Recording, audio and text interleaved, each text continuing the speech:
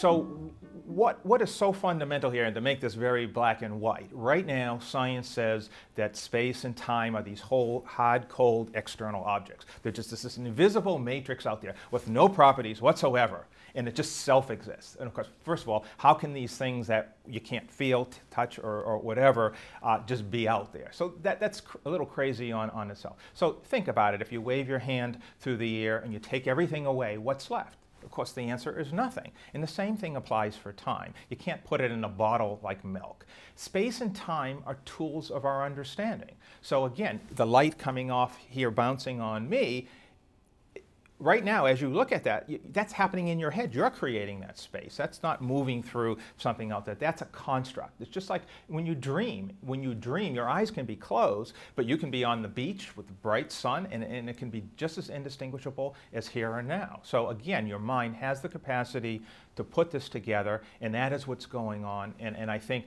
we we, we trip up because it, it, it's not just black and white. You know, it's easy to say everything is just out there. The problem is, is it's when you start thinking about it, think about it. If you think of all of eternity, all of time, if there was a time that went on forever, and you put every day and hour and stack them on top of one another like chairs, and put yourself on the top of it, what is the probability that you would right now be sitting on top of all infinity, the good luck just talking to me? The probability of being on top of infinity is zero. That's just crazy. Just a one in a gazillion chance that you just happen to be here, good luck, right now, alive in the present. It's, it's just silly. The concepts of space and time as these external matrices, it's just crazy. Immanuel Kant figured that out 200 years ago, even without all of these new sophisticated experiments. Uh, the other thing to, to consider is, is the universe itself. I mean, it has all these parameters as though it were fine-tuned exactly like life. Some are calling it the Goldilocks universe because it's not to this or to that. So for instance, if the Big Bang had exploded one millionth more powerful, everything would have rushed out too fast for there to be stars or galaxies, and then there would of course be no us. Or if the gravitational constant or the gravitational force was a hair less, the stars wouldn't ignite, there'd be no sun, we wouldn't be here. Same thing for the strong nuclear force, just 2% different, and all you would have is, is, is, plain vanilla hydrogen. There wouldn't be any carbon or anything for us to be. And it goes on and on, hundreds of parameters like this. They could have any characteristic or any number at all randomly, but they don't. They have exactly, every single one, exactly what it would be for life to exist. That to, to, say that that's just a huge accident and we're just lucky, you know, it, it's just totally, completely absurd. The reason is, is, is the obvious reason. If life creates the universe, obviously it can be no other way. The, uni the, the, uh, the universe is simply the spatial temporal logic of the animal observer. And so, but then that creates other contradictions to, that, to, to things that people thinking in the old paradigm. So for instance, time.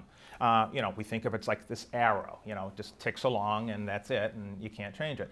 But we've been doing new experiments that show that that isn't the case. Two years ago, just a couple years ago, in the very prestigious journal Science, there was an experiment that scientists carried out where they sent particles, little photons, particles of light, into this apparatus. And when it went through a, to a fork, it had to decide what it was going to do, whether it was going to be a wave or a particle.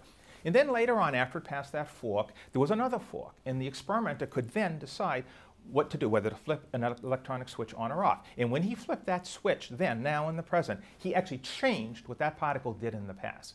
So how can what that experimenter do right now in the present actually change something that happened in the past? And there are other experiments, you know, where you can show actually the reverse, that if, if you have these entangled particles, that if one hits a, a, a, a detector, has to do something, but actually it can actually will know in advance what you do in the future, whether you put a scrambler in its partner that's been, had the path stretched out. So again, the, the, the thing is, is we live in that same world. And that's not the world currently described in the existing paradigm. Space and time as these hard objects just doesn't match up with the facts or the experiments. Now, scientists try to get out of it and they say, oh, there's, there's two worlds. There's the small micro world where the weird phenomena, you know, quantum uh, mechanics occurs. And another whole set of rules for us in the bigger universe. Well, first of all, That's crazy. It has no basis of reason.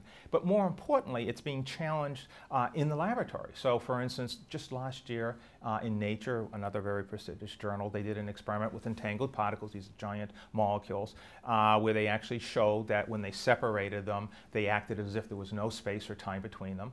There are uh, molecules called buckyballs, these huge carbon 60 molecules that they actually show, uh, they're clearly in the macroscopic world, show that they follow the same quantum uh, principles.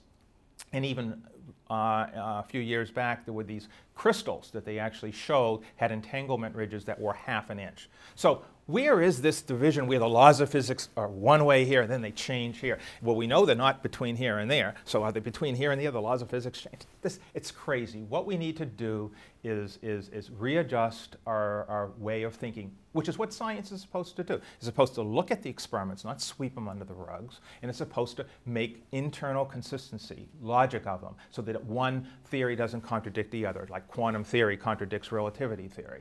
And, and, and again, that contradiction, there is absolutely no reason for it. It's obvious why space and time are relative to the observer. We carry them around very much like turtles carry their shells around. And it's obvious what's going on in the micro world about the, the, the particles. We have way, uh, basically what they call waves of probability, which uh, we know from previous experiments aren't material, they're just statistical predictions of where a particle would be. And so until the mind lays that scaffolding down, you obviously, it can't be either here nor there, which again, uh, all of this comes together and that is what biocentrism tries to do.